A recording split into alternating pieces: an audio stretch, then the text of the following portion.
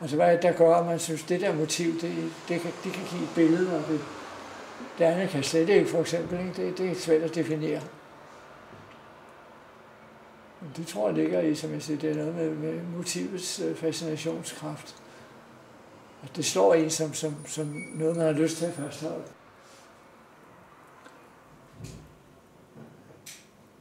Også ting, hvor man ikke umiddelbart kan se, hvad det egentlig er. Og så fastholder man det, og så får det en ny betydning, når det bliver trukket ud af sin sammenhæng, for eksempel. Det kan også være en kvalitet ved et billede.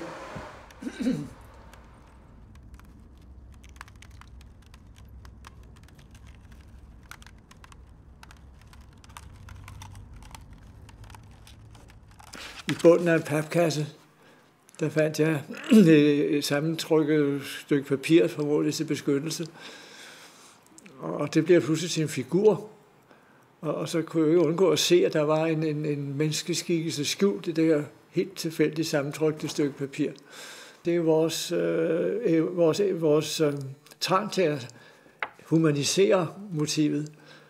Man har et register at spille på, man har nogle foretrukne emner, man har nogle motiver, som man går efter, som man belærer sig på en eller anden måde. Men man synes, der er slagkraft. Og der kan man gå ned i sådan nogle små ting, altså den afdeling, jeg kalder for deformationer. Ting, der har gennemgået et eller andet tryk, eller et mast, eller slået i stykker og slået ihjel, eller ved jeg ikke, som nu sådan en, en frø der, ikke? der pludselig bliver til et ganske interessant lille væsen, i kraft af, at den ligger stivnet der i dødskrampe formodentlig. Så den bliver både et ornament, og den bliver et øh, dødssymbol, og den bliver et levende væsen, og den bliver signal om et eller andet. Det bliver næsten, den, er næsten kalligrafisk, kan man sige.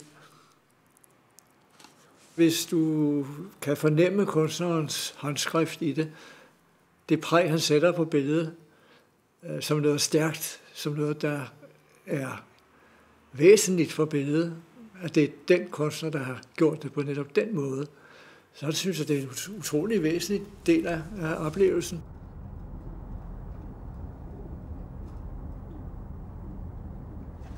Man ser noget, og måske ovenkøbet må hjem efter kammeret og ud igen og vende tilbage og dyrke det.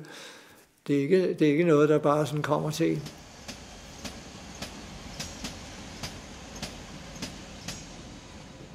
De bedste resultater, det, det er noget, der, der sådan er godt planlagt, og hvor man er meget målrettet øh, med det, man vil.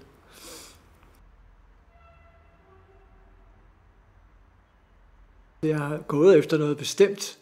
Jeg er gået efter noget, som er appelleret til mig. Jeg har altid syntes godt om, om uh, skrifttegn, uh, kalligrafi, god typografi, altså noget menneskeskabt, uh, hvor, hvor det drejer sig om signaler, eller hvad skal man kalde den for, tegn, må det jo hedde. Ikke? Og fascinationen af tegnet, fascinationen af skriften, fascinationen af figuren, det, det spiller en stor rolle for mig. Jeg har altså et, et, et sjovt billede her, som jo for en gang skyld ikke er molesteret. Det er ikke nogen pære og æbler, der er blevet kørt over. Det er for en gang skyld den rene form.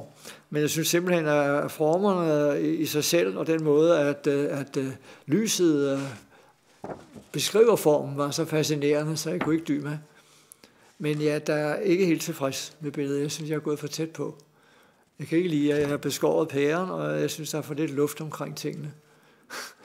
Men øh, til gengæld så kunne jeg godt lide de der former, de skulle stå stort og skulpturelt og dragende frem.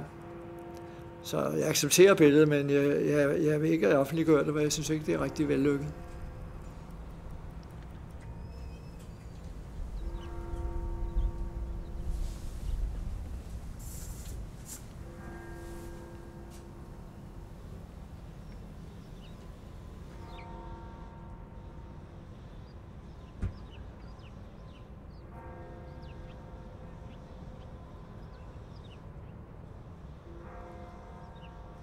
Så har jeg et eksempel her på øh, en serie, der er opstået på en meget sjov måde.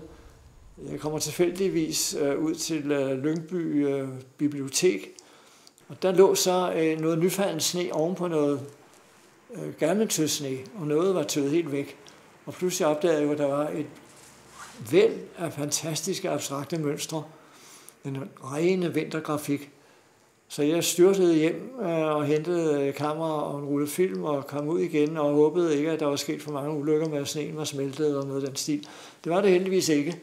Men det er et, et meget godt eksempel på, hvordan øh, en serie opstår.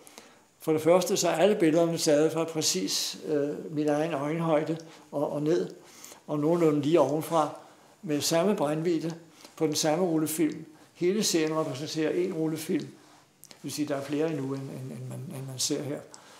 Og øh, så falder de på en eller anden mærkelig måde bagefter, når man kopierer dem i par.